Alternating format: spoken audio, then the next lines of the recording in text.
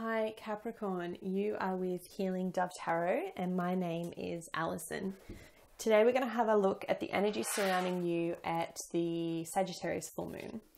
Um, before we get started, I just wanted to let you know this full moon is all about um, releasing, purging of old disappointments. Okay, I'm so excited it's here. It's a fantastic time to let go of any dreams, of wishes that you've had that have been unfulfilled. Um, it's just time to let it go. Okay. At the same time, Mercury enters its home sign of Gemini, which is all about um, communication, intellect, and higher understanding. It's basically a new phase of our thoughts and our beliefs. Um, the best way I can explain the energy is that uh, imagine if you're able to look at things that once caused you grief and strife, now with um, clear eyes, seeing only possibilities, opportunities, and new adventures. It's pretty exciting stuff. Um, you know the truth is if you can use this this energy around this full moon and and really harness its potential you can really start to see your life in a whole new way. All right capricorn. So let's dig into the energies for you um, and have a look at what's coming up.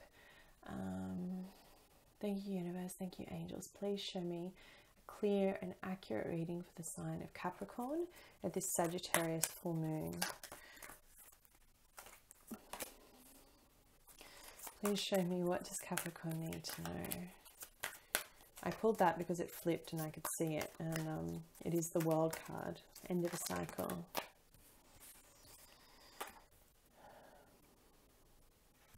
Okay. Wow, major arcana, Capricorn.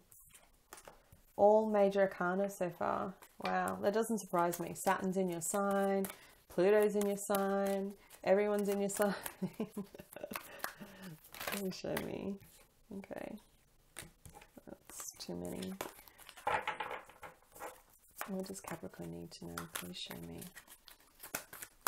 Wow, big energy. Yeah.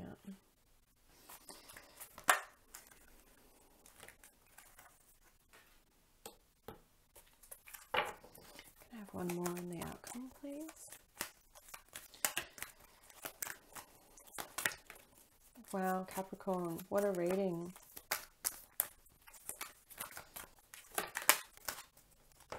There it is. Ace of Water. Capricorn, my goodness. I think this is my favorite reading yet.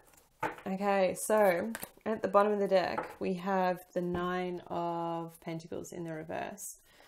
Okay, so the Nine of Pentacles talks in the upright about um, my single, um, uh, independent woman, right? She's abundant. She has everything that she needs. She's a goddess. She doesn't she doesn't need any relationship, any connection.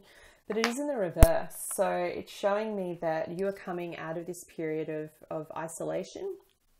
Some of you, you could have gone through a breakup. And if I do remember correctly, um, I do so many readings, but your love reading was talking about healing from a broken heart, and I can see that here very clearly. Um, you're now coming out of this feeling of isolation and you're ready to open up your heart again, okay? And you have it coupled with the Sun card. So, um, you know, it's like the universe, you have one, two, three, four, four major arcanas in a six card spread, and then underneath that, you have the sun, which is the very best card you can get in the entire deck. It shines a light of happiness on you, and underneath that, you have the star. So, Capricorns, I know it's been challenging. My goodness, have you had some challenging energy for the past couple of years? People don't even seem to understand what you've been through. I get it. Um, but it's now you're stepping into your time okay? This very last final lesson whatever it is that you've been through this heartbreak it's like your final one okay? You're about to step into this whole new world. And i say that because you go from the star and the sun literally 17 19 letting go of this energy of being alone and being isolated into the number 21 of the world. You are completing a cycle, a life lesson, Capricorn, and it is big. And it is big because of all the cards that are around you. Okay. In your past, you had the Two of Fire, needing to make a decision, a choice, coupled with um, the card of patience, of temperance. Okay. So it's like You needed to make a big, big life decision and choice, and you have made it, and now you're ending that cycle and you're ready to move forward. Um, and I say that because it comes in with two other major arcanas the chariot and the hermit. So the chariot is literally the card of Cancer. In terms of signs, just so you know, you have Sagittarius, Leo, Cancer, and Virgo surrounding you. Okay. Now, and as I said, the the chariot card is a sign of cancer. It's literally my yes card, my moving forward.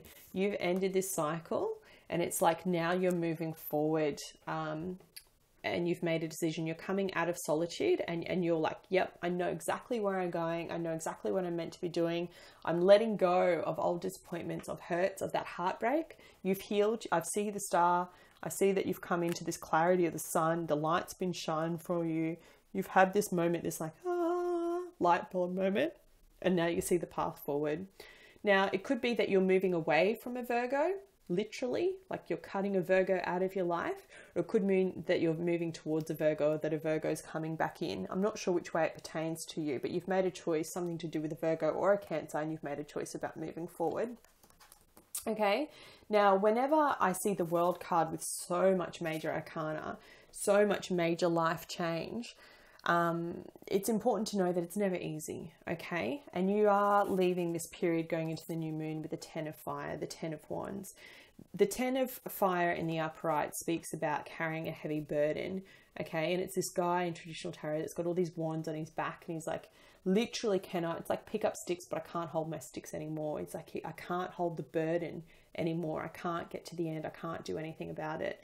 Now, what this is saying to me in the reverse is that you finally dropped all of those things and you've admitted that maybe you don't have it all together and that's okay and you're willing to let a lot of that stuff go because it's no longer serving you. Um, it's not easy when you transition from a really powerful divinely guided choice out of that energy into the new okay? But you're letting it go you're shedding it and it's um, going to bring you new beginnings literally in the form of love you have the ace of cups Okay, Capricorn, so this is a brand new beginning in love. It's just what a reading to go from the world of endings of a cycle completing, of finishing one, and then literally in the matter of a couple of weeks going into this brand new beginning at this new moon. Um, this new moon that's coming up is going to be really potent and strong for you, Capricorn. Okay, it is the middle of your year of solstice, so um, solstice, so it is going to um, affect you spiritually. Just know that, um, especially with all this other divinely guided energy that's around you. Um, now, the Ace of Cups can literally mean a brand new beginning when it comes to love. It can also mean a resurrection of a love, okay? It could mean a reconciliation. Um, it's like you've had patience in the past, you've had to make a decision although you didn't want to. You could be reconciling with a Cancer, a Virgo, a Sagittarius, a Leo, um, signs are irrelevant, but there is an opportunity for reconciliation, or it is an absolutely brand new beginning in love, relationships, commitment. And um, I have to be honest, I couldn't be happier for you. After all the heartbreak and that you've been through, it's your time, Capricorn. All right, so let's have a look at what the additional meanings are for Capricorn under this Sagittarius full moon cards, please show me what are the additional of Capricorn under the Sagittarius full moon. Thank you, universe. Thank you, angels. Okay, so we have the card of influence. Straight away, of course, I see the dove, but I am healing Dove Tarot, and that's my um, that's my spirit animal, my spirit guide. But look at how connected she is. He's got like the heart, the, the key to love in his chest, this dove, and she's holding all the spirit and wisdom in her third eye. It's a really beautiful card. So let's read this and see what the messages are for you, Capricorn. Influence. I'm so happy for you. What a great reading. This is just fantastic. Okay. And look at the moons up the top. Do you see? The cycle of the moon, full moon in the in the middle. Um, influence. Balance imagination and reality. Be cautious of giving undue influence to baseless assumption. Distinguish between opinion and evidence. Become aware of false limitations. That's limitations of self, Capricorn. Put real effort into proving a doubt or fear wrong. Be open to new ideas and perspectives, but do your homework and ensure a claim can hold true in practice as well as theory. Only through the eyes of the soul can the true nature of your life, existence, and purpose be known. All of life flows from one divine heart of creation. You have a purpose, a meaning, and a role to play in this great journey of, of life. It may be beyond the knowing of the physical world, but is not beyond the knowing of your soul.